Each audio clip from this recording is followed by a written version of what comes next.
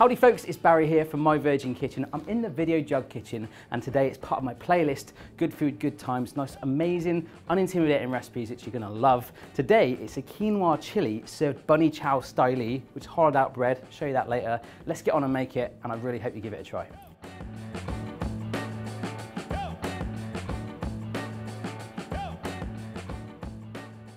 This recipe couldn't be simpler. So first thing you need is a nice hot pan. So we're gonna chuck some olive oil in there first of all. I'm gonna soften up our red onion. So I've got some red onion that I've chopped up. It's just one red onion like that, nice and fine. So we'll get it in there. The onion's gonna cook away nice and so about five minutes. So just work it around that high heat, get it to really soften and break down.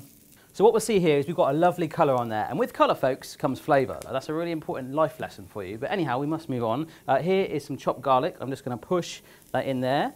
It's only going to take about one minute or so just to brown through, so that's why the onion got priority. Some mild chili powder, about a teaspoon of that, but feel free to ramp it up, make it as strong as you like. This is going to be quite a mild chili. And again, cumin, about a teaspoon of that, maybe a heap teaspoon. I'm feeling a little kinky today, so let's just stir it through, get it nice and coated on there, let it stain the onions and the garlic. Just about a minute on there, and then we're going to chuck a load of stuff in this party. If you're going to try this recipe, guys, don't forget all the ingredients and the method are down below in the description box. So uh, give it a try. Right, folks, the colour in there is looking good. The smell is like a boudoir of flavour heaven. You're in it with me. Let's carry on. We're going to get some tomatoes in here. This is a tin of chopped tomatoes. Not just one, no, two.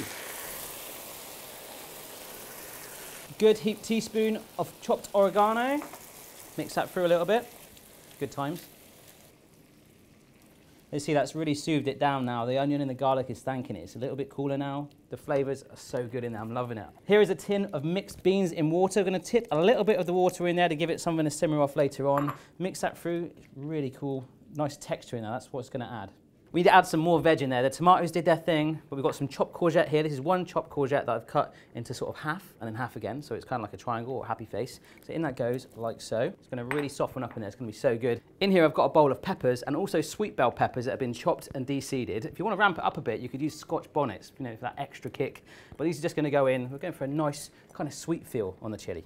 So we'll mix this all through, get it all nice and coated in there. So all we do is simply season it, so a good sprinkling of salt there, nice big chunk of salt crystals going on, and then an extra grinding of pepper in there.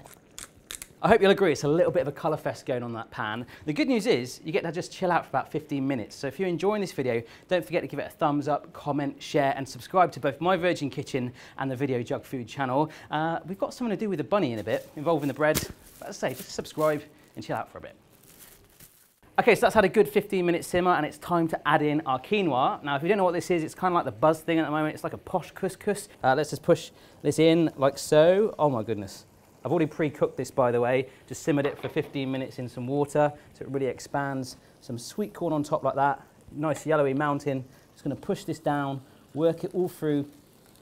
Good times. So this really doesn't need much cooking time. All we're doing is warming through the sweet corn and the quinoa to get it all nice and coated, warm it through, we'll work on our bread, and then it's time to serve it. We've got a loaf of bread, and effectively what we do, cut it into thirds and hollow that out and serve it. Now apparently this is like a South African tradition from years ago where they used to serve curry in there. If you're South African or you know more about bunny chow, let me know down below. I'd love to know, like I need a life lesson from you guys. Let's cut this up.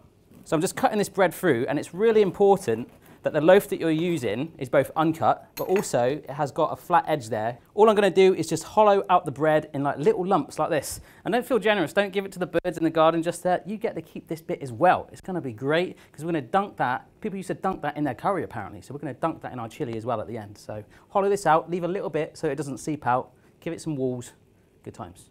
Right, it's time to serve it up. And it just came to me that the hollowed out bread acts as quite a good uh, mobile phone holder. So if you're interested, uh, you know, you could stock that and maybe make a business plan out of that. But anyhow, let's get on with our chili. We're gonna just ladle it straight in there. Oh my goodness, this is good. I really like sort of rustic food. I like just getting my hands on stuff and I kind of just want to go, ah, caveman on it. But I'm not going to do that right now. I'm going to carry on filling this up. The colourfulness in there, it's looking good. The smell, the flavour and the texture when you bite into it, you're going to love it. It's going to be so worthwhile. And how easy was this to make. How easy was that? So good. I can't wait to eat this, but we need to add a little bit more, just a little bit of finesse on there. Some grated cheddar cheese. I live near cheddar, actually. That's a random fact for you. A little bit of coolness from some sour cream, just a little dollop there. Sprinkling of chopped coriander. So I hope you'll agree, guys. I've just stuffed in a little bit of scraps of bread there to refer back to that bunny reference. It is looking amazing. I can't wait to eat it. I really hope you have a go too. And if you do, don't forget to send me a picture at My Virgin Kitchen and of course Video Jug Food. And we'll love to see what you come up with. See you again next time.